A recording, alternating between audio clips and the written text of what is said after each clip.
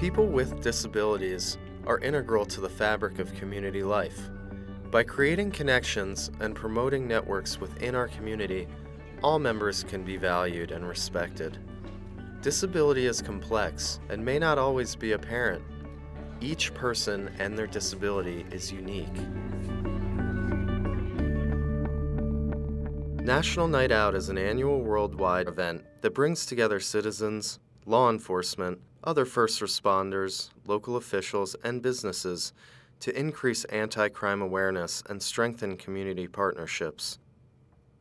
While the event planners are dedicated to making sure that their National Night Out celebration promotes equality, inclusion, and safety, a smaller event may be preferable for some people who have disabilities.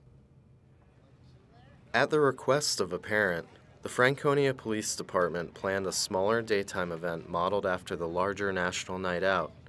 This event provided an opportunity for more in depth interaction with police officers and firefighters while remaining open to the entire community.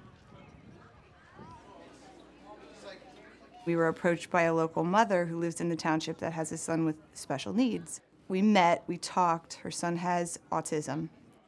So from that, we evolved and we created the Special Needs Open House. Our special needs open house, we do not limit it to any particular special need or any particular age. Every special need is different. Whereas some people may like to hear the sirens, it may scare others. So a challenge is to figure out the best way to put everything out there to make everybody feel comfortable. So we put it on our Facebook page, told people we were going to do it, and it was really great because the community started to contact us. We made it known in our church about having a special event for uh, special needs individuals and families here in Franconia Township, and we had quite a number of volunteers to, uh, to help out. I think too often individuals with special needs are sort of sidelined or they are left out of activities in the community. So when these opportunities come about, I think it's a win-win situation for the whole community. Univest Bank and Trust Company has been a longtime partner with Franconia Police Department and the Franconia Township. When we were approached to support the Special Needs Open House, it was, it was really a natural extension of our ongoing partnership. The more we collaborate, the more that we partner, the stronger our communities are. Coming to this event has meant a lot.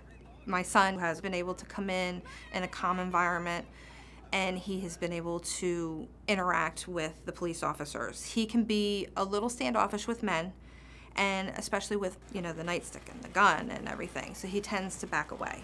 And I don't want him to be afraid if he's ever lost and he needs a professional like that to find him. I don't want him running from them. Or I don't want an officer to have an adverse reaction to somebody with autism or any disability. I would encourage every police department in the Commonwealth to become involved in some way with their communities of people with physical and intellectual disabilities. It's probably the most underserviced segment of our society. And with our special needs registry, we realize how many people there are in your community who have wheelchair issue, a mobility issue to get out in time of fire, or people who become uh, frightened at the sight of someone knocking at the door. This is a community that really, really needs the attention of law enforcement. In order for all people to have the opportunity to learn, work, and enjoy life amongst a diverse community, local police departments need to expand outreach efforts in order to educate and protect all of their citizens, including those with disabilities.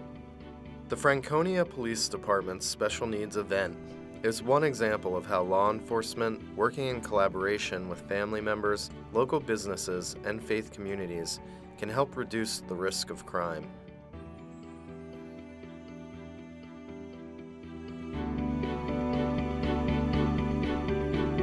For additional information, please contact the Institute on Disabilities at Temple University.